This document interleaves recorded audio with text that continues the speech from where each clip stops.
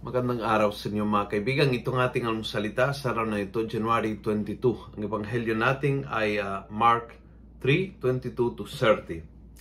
Sabi ni Jesus, How can Satan drive out Satan?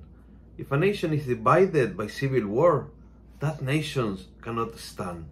If a family divides itself into groups, that family will not survive. Kapag hiwalay, kapag nakakampi-kampi at hindi nakakaisa, then babagsak. So that's the whole point of Jesus. Uh, ako at si Satanas, hindi kami makakaisa. Hindi kami magsama-sama. Pag dumating ako, umaalis sa mga demonyo. So ibig sabihin, we don't belong to the same kingdom. Pero I think yung teaching niya, bagamat yung ibig niya sabihin is, Belzebul and myself, hindi kami nakakasama si, sa iisang kaharian kasi nakaaway kami dalawa. Pagdating ko, aalis siya.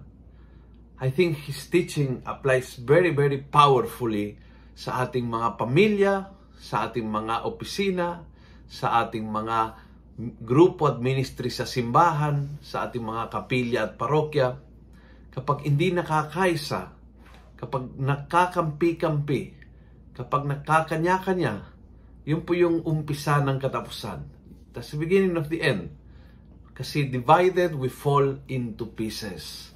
Kaya humingi tayo ngayon, unang araw ng linggong ito sa Panginoon na uh, as we go back to our work, to our normal daily routine, today Monday, naway maisip natin ang kahalagahan ng pakakaisa And therefore, sa ating mga pananalita, the way we treat people, the way, the way we answer people sa ating mga trabaho, sa ating mga meeting ng ministries during the week, sa ating pamilya tuwing tayo umuwi, maalala natin na ang pakakaisa, ang palatandaan na ang Diyos ay ang glue, ang dahilan kung bakit tayo nananatiling isa.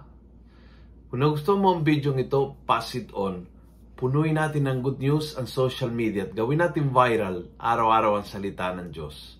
And God bless.